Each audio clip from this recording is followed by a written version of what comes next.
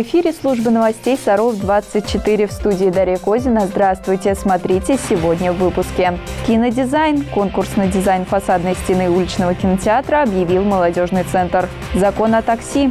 С 1 сентября вступают в силу важные изменения в сфере пассажироперевозок. Ростовская «Финифть». Городской музей приглашает на мастер-класс. Далее расскажем обо всем подробно. Свежий воздух, хорошие фильмы и вкусный попкорн. Совсем скоро можно будет насладиться всем этим во дворе молодежного центра. До конца сентября там откроется уличный кинотеатр. Поучаствовать в создании уютного пространства может любой желающий. Молодежный центр запустил конкурс «Кинодизайн». Подробности далее.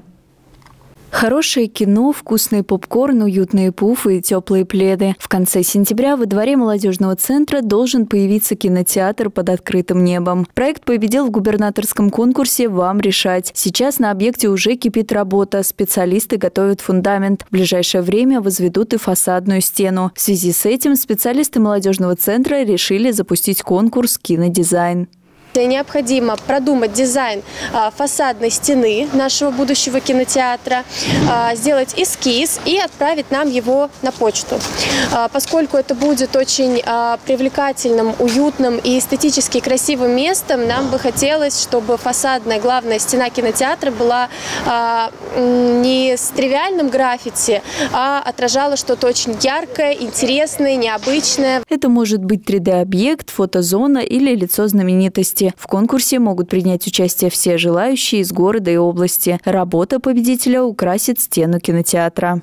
Сам победитель будет награжден ценными призами от молодежного центра на торжественном открытии кинотеатра. Мы очень хотим, чтобы данный а, проект, данный объект стал а, точкой привлечения молодежи города и местом для отдыха. Поэтому мы очень ждем интересные а, идеи. Подробные условия конкурса можно узнать в группе молодежного центра ВКонтакте и на официальном сайте в положении. Дарья Козина, Евгений Шикарев, Сергей Рябов. Служба новостей Саров 24. Нижегородцев приглашают на ярмарку вакансий «Служу Отечеству». Она пройдет в Парке Победы Нижнего Новгорода 26 августа с 11 до 15 часов. В мероприятии примут участие представители различных силовых ведомств региона. Соискатели пройдут прямое собеседование с работодателями по вопросам трудоустройства. Смогут ознакомиться с льготами, характером и условиями работы. Новая волна коронавируса придет в Нижегородскую область осенью, прогнозирует региональный Роспотребнадзор. По информации ведомства, осенью ожидается сезонный подъем заболеваемости острыми респираторными инфекциями. Специалисты не исключают, что жители начнут заболевать новым штаммом коронавируса. При этом уточняется, что уровень заболеваемости новой коронавирусной инфекции будет зависеть от коллективного иммунитета. Более 8 тысяч жителей Нижегородской области пострадали от укусов клещей в этом году году. Как отмечается, с присасыванием клещей обратилось на 13,2% больше, чем за аналогичный период прошлого года. Обращения от жителей были зарегистрированы в 48 районах области. Из всех случаев 5 человек заболели клещевым энцефалитом. При этом у двоих жителей инфицирование произошло при употреблении некипяченого козьего молока. Новый состав молодежного правительства будет сформирован в регионе. Конкурсный отбор среди потенциальных кандидатов уже стартовал. Для участия необходимо подать заявку, приложить презентационный ролик и пройти тестирование. Экспертная комиссия выберет лучших кандидатов, которые пройдут на этап личностной диагностики и очного собеседования на желаемую должность. Подробную информацию можно найти на сайте Министерства молодежной политики Нижегородской области. Легендарный боец ММА, бывший чемпион UFC Олег Токтаров вызвал на поединок по правилам ММА звезду этого вида единоборств Джеффа Монсона. В ночь на субботу они провели поединок по правилам бокса в рамках бойцовского клуба РНТВ, который завершился в ничью. Оба бойца на протяжении всего боя старались перевести поединок в портер и делали захваты. Мастер-класс «Ростовская финифт» состоится в рамках закрытия выставки «Огненное письмо. Ростовская финифт 19-20 веков» в городском музее. Мастер-класс проведут специалисты из музея-заповедника «Ростовский Кремль». Каждый участник сможет унести домой уникальный сувенир, сделанный своими руками. Подробности далее. От икон и образков XIX века до бытовых аксессуаров и ювелирных украшений последних двух столетий. Огненное письмо, ростовская финифть, народный художественный промысел по изготовлению предметов с миниатюрной живописью по эмали. За лето на выставке в городском музее побывали около двух с половиной тысяч саровчан и гостей города. Ростов-Ярославский архитектурно-художественный музей-заповедник привез в Саров более 200 экспонатов 19-21 веков. Теперь время работы экспозиции подходит к концу. К закрытию выставки для горожан готовят интересные мероприятия. Здесь будет мастер-класс Приедут специалисты из э, музея-заповедника Ростовский Кремль, и они будут проводить мастер-класс э, по такому прекрасному искусству финифти. Э, и эти мастер-классы состоятся 26 августа в 11 и в 12 часов. Техника искусства финифти непростая. Мастера росписи работают тончайшими кисточками в 2-3 волоска, ведь нужно все сделать художественно и аккуратно. Поэтому мастер-класс рассчитан на участников в возрасте 12+. После росписи изделия будут обжигать. Для этого сотрудники музея-заповедника Ростовский Кремль везут с собой специальную печь. Медь или латунь, а, там уже стекловидная масса, покрытие, которое перед этим обжигается обязательно. А вот по ней уже, по этой поверхности будут наноситься краски, которые также стекловидные. Это такой порошочек а, с красителем. И в зависимости от того, сколько а, слоев краски, да, столько будет и обжига. На мастер-класс «Ростовская финифть» билеты необходимо покупать в кассе городского музея заранее, чтобы подтвердить свое участие. Количество мест ограничено. Каждый участник мастерской сможет унести домой уникальный сувенир, сделанный своими руками. Также на закрытии выставки будет небольшая экскурсия, на которой сотрудники музея-заповедника расскажут об искусстве финифти как искусство финифти родилось, как пришло к нам э, на Руси из Византии, э, почему э, еще его в Византии называли огненное письмо и так далее, как оно совершенствовалось, развивалось.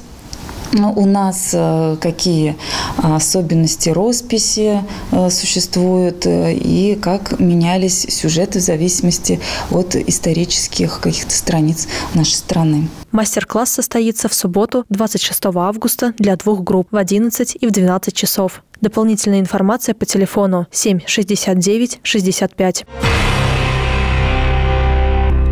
С 1 сентября вступят в силу основные положения федерального закона о перевозке пассажиров.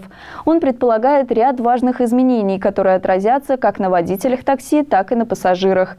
Как восприняли закон игроки рынка и какие последствия ожидают клиентов, узнала наша съемочная группа.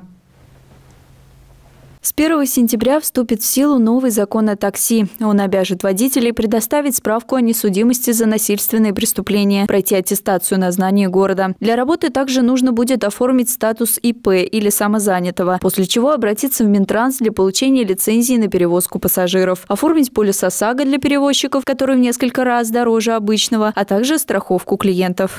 Водитель должен выписывать себе путевой лист перед, перед выходом на линию, ну, сам себе, например, самозанятый, и сам должен проходить медосмотр и техосмотр. Опять же, никакой инфраструктуры для прохождения, например, медосмотров или техосмотров, ну, ее просто нет. Она в Сарове отсутствует. Данный закон, ну, как бы и я, и мои коллеги считают, что принят для Москвы. Там он, да, может работать, там все готово, инфраструктура готова. А, и для больших городов, ну, не знаю, Москва, Питер. Правительство России также запретило таксистам работать более 40 часов в неделю. Компании обязаны давать расширенную информацию о водителе на каждом заказе. Фирма должна в ежедневном режиме в онлайне проверять э, водителей на предмет наличия у него разрешения. Это должна быть связка с региональным Минтрансом, с их реестром, которые должны нам давать в онлайн сведения по реестру. Э, чтобы было понятно, Нижегородский Минтранс обновлял свой реестр последний раз в апреле месяце.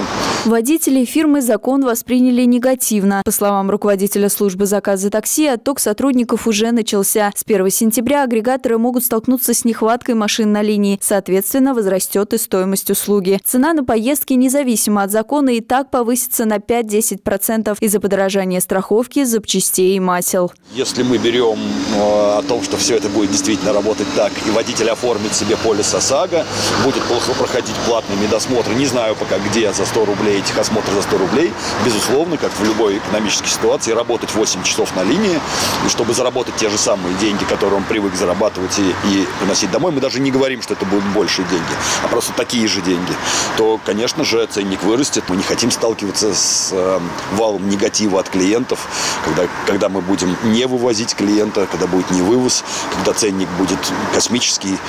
Нам тоже всего этого не надо. Мы не хотим так работать. Депутаты Госдумы поспешили успокоить игроков рынка, что большинство новых требований закона получит отсрочку до 2024-2025 годов. Поможет ли это сгладить острые углы недовольства и будет ли плавной трансформация работы такси, увидим в ближайшем будущем.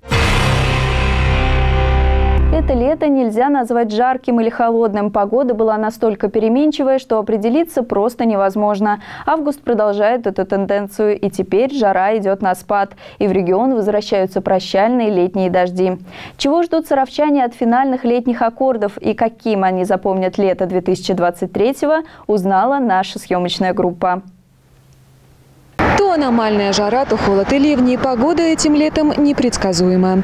Как доказательство, новая рабочая неделя принесла в регион похолодание и дожди. Так, ночью температура опустится до 7-8 градусов, а днем прогнозируют от плюс 17 до плюс 21. А каким это лето запомнили саровчане? В принципе, вполне нормально. Тепло было, прохлада была, все было. А дожди не пугали? Нет, не пугали. Я бы не сказала, что оно было теплое. Теплое обещали максимально жаркое лето. А аномальное что-то как-то вот... Обманули. Обманули. Ох, как обманули. Вот, учитывая июль, вообще дожди же вспоминаем, если были.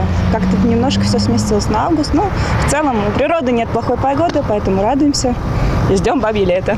Была солнечная погода, э, но иногда были дожди. Тебе как больше нравится, когда жара или вот как сейчас? Когда жара. А почему? Э, потому что можно покупаться. Жарким? Да. А дожди? Не запомнил дожди. Теплая, хорошая, солнечная. Ну, не знаю, мне лето понравилось. Очень хочется еще три месяца лета. Очень-очень грустненько. Хочется, чтобы после августа опять был июнь, июль и так до нескончаемости. Хорошая. Мне нравится. Не жарко, главное дело, и это хорошая погода. Я люблю такую погоду. Я, мне летом жару очень плохо. Как говорится, это моя погода. Да, да, да. Но гляжу, уже исправляется погода. Попробовать себя в роли юных географов смогли юные саровчане на очередной дворовой площадке на Казамазово-10. Ребята отгадывали загадки, расшифровывали скороговорки по эмодзи, рисовали мелом природу на асфальте. День географа в России отмечают в августе. Официально праздник утвердили в 2019 году по инициативе Русского географического общества. Сотрудники Центра внешкольной работы решили не отходить от традиций и провели на дворовой летней площадке мероприятие, посвященное этой дате. Про географ это на расширение кругозора, чтобы ребята вспомнили немножко школьные какие-то знания, проверили их. Плюс всегда присутствует спортивный азарт на таких мероприятиях. То есть ну, конкурсный момент добавляет э, интереса к игре, и потом самый лучший получает призы. На празднике ребята смогли попробовать себя в роли юных географов. Они отгадывали загадки, расшифровывали скороговорки по эмодзи, рисовали мелом природу на асфальте. То, что мы сегодня нарисовали на асфальте, я нарисовал солнышко, домик, человечка, собачку и деревья. Сегодня мы играли в настольные игры, рисовали, много играли. Нам было очень весело. Мы играли в Уно и играли в джем. Каждая встреча по-своему уникальна. Организаторы стараются увлечь ребят чем-то новым и познакомить их с интересными праздниками. Также на площадке ребята играют с мячом в спортивные игры. Встречи на Казамазово 10 проходят каждый день с 15 до 18 часов. Эта неделя будет завершающей. На ней организаторы подведут итоги летних каникул и наградят самых активных ребят. И это все, о чем мы успели рассказать вам сегодня. Следите за новостями города в группах канала 16, в социальных сетях, ВКонтакте и Одноклассники. Там же вы найдете все информационные выпуски и авторские передачи. В студии работала Дарья Козина. Всего вам доброго и хороших вам новостей.